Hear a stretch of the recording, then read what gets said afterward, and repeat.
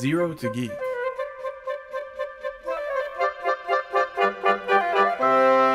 Learning better is better. Welcome back, every person out there. So, uh, you want to hear another joke?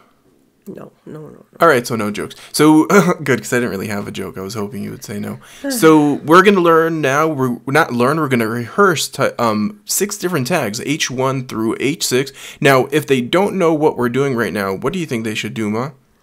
Join Zero to Geek. Absolutely. And if they didn't join Zero to Geek, then well, It's a problem.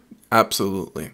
I know what H1 till H6 means. And if you don't, then well, well, mm-hmm. I don't know. I don't even want to talk about it. Right. All right, kind of awkward now.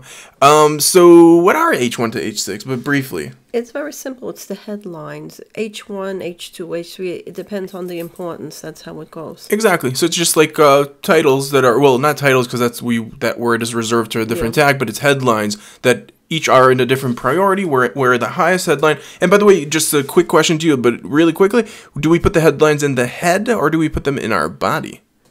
Um, the body. Absolutely. So headlines are part of the body. They're part of the content. Let's start doing them. All right. So I'm going to just create really quickly inside of our body two tags. One we'll call H1, which will be our main title, our main headline. Right.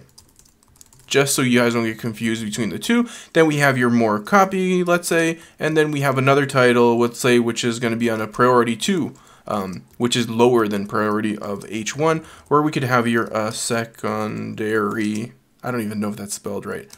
Headline. Um, and if I do have a dyslexic error there, don't send me emails about it. Well, because I can't edit it. It's too late, right? Thank you. Did you close it? Oh yeah, so let's make it smaller so they could see it. Whoop whoop. There you go.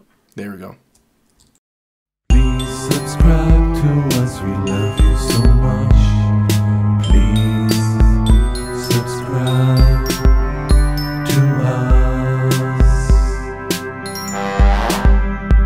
Probably feel guilty, and you should.